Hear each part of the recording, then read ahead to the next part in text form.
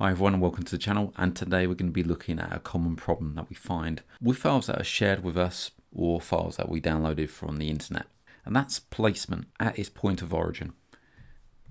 Let's have a look by toggling the axis cross of where the axis cross is in this model. As you can see it's over here. So if I click on the body and right click transform you notice that the point of origin of where it's been created, well, it's some distance away.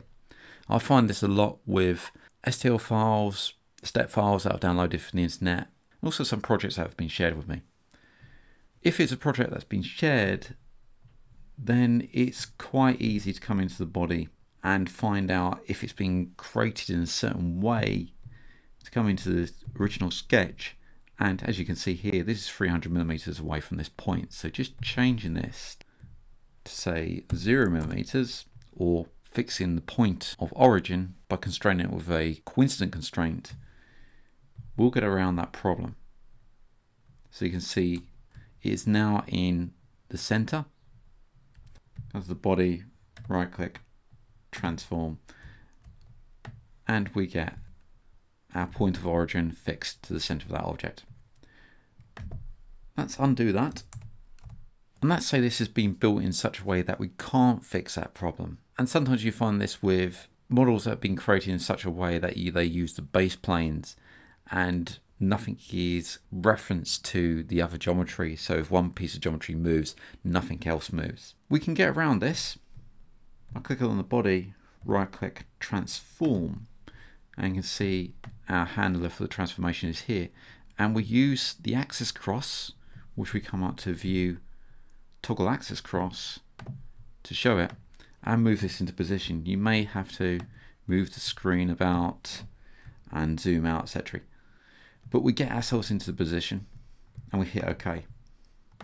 Now, if we create, say, a part and move that body inside the part, now when we click on the part and right click transform, we've got the part handler in the middle so we can actually transform the part rather than trying to transform the body which we still got here. Right click transform and you can see that's over here.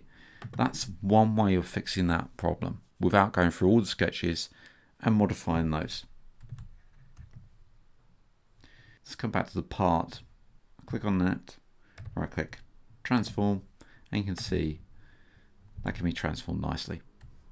That's okay that. What I'm going to do now is import the same part but as the step file. Going to file import and coming down and finding the step file. Now we'll have the same problem because if I click on the body, right click transform, you can see, well, it's over here. Now this is really easy to fix. And in this case, it hasn't got anything else in there it's just a plain shape, then we can actually transform this first by coming out to view, toggle axis cross, right click on the shape, transform, and transform this into position like so. That's about right. That's okay that. Bring this back in. And make sure that the shape is selected. Come over to the part workbench and then we've come up to part, come down to create a copy, and then come over to refine shape and click on that. What happens now, we get another shape that's been refined. Refining means taking faces that are along the same plane. If they're attached together, let's say that this face here is made up of four faces, then this will be merged into one face because it's all on the same plane. But this gives us an addition. Let's click on that shape, right click, transform, and you notice because we transformed this into the right position, we've now got a shape that has the handler and the transformation slash rotation point in the correct position. So that's a quick tip from me. Hope you found that useful and I hope to see you again soon. If you like what you're seeing, please subscribe to the site.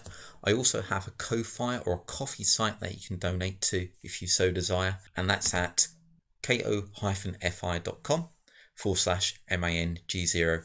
I also run a Patreon where you can subscribe and get extra content, and that's at www.patreon.com forward slash mango jelly solutions. Any money that's kindly donated will be used to expand the channel. Thanks a lot for watching and subscribing, and I'll see you again soon.